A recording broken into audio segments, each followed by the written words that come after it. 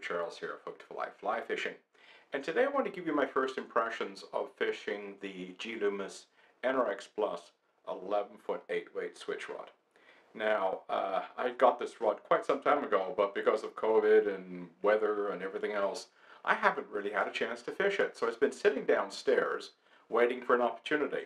And the river's been high and dirty a lot. So I took it out uh, to get my baptism of fire with the rod uh, in some pretty miserable conditions. And I've got some cast I'm going to put up in a couple of minutes. So you can get a chance to see what this rod did. Now, the, there's some things about the rod which really impressed me, and I, have gone through an awful lot of switch rods over the years between demo rods and rods that I've owned of my own and customers' rods that I've cast. And without question, this is within the top one or two or three uh, of rods in terms of distance. In fact, about the only one that gets close to it was, I think, a 11 foot uh, GLX um, 7 weight and my uh, Pro 4X uh, 11 and a half foot 9 weight. Uh, they were the only ones that were in the same ballpark. And, I, and I'm pretty sure this NRX goes further. I mean, I was in far less than ideal conditions. I was up to my waist in dirty water, casting uh, an Airflo uh, Skagit Scout uh, 480 with a 10 foot sink tip on the end of it, a high drag fly. This is not ideal conditions for casting, and you'll see what I was able to do with it.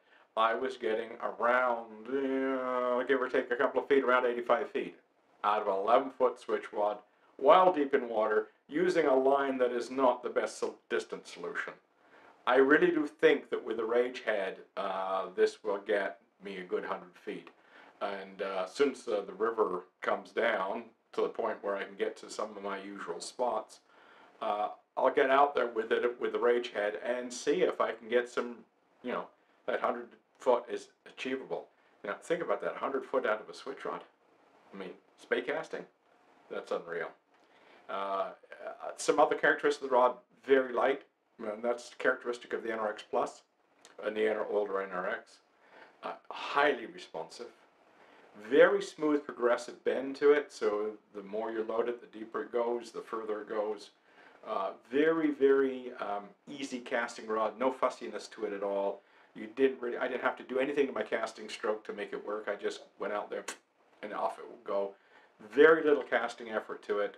Uh, low, very low swing weight. It had a lot of good things going for it. And I usually am critical of the average switch rod of not being able to cover distance without putting a ton of effort into it.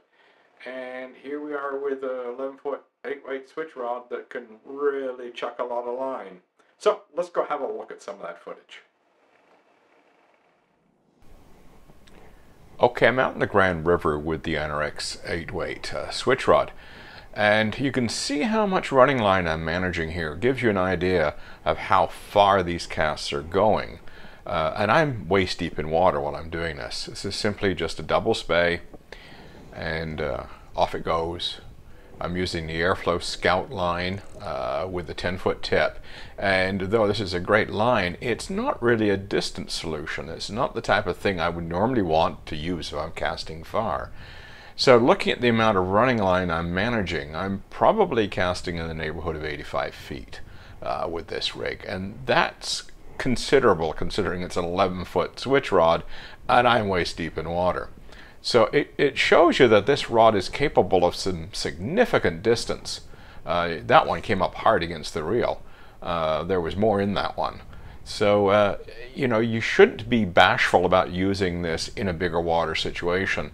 I've seen plenty of switch rods that won't handle the big water, they just can't cast far enough. But this is certainly one that can do the job if you need to. So if you showed up on a big river with this rod, it would certainly not embarrass you, that's for sure. Here's my last one.